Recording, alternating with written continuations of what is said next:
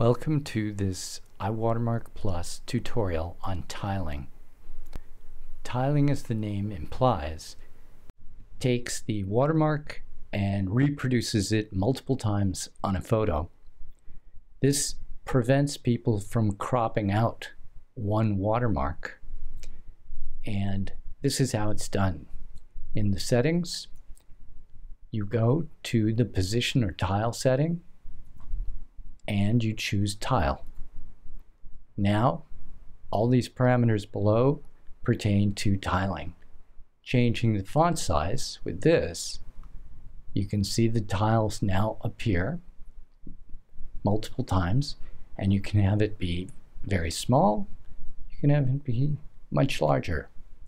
You can change the angle, and you can change the opacity to make it more subtle. And that is tiling.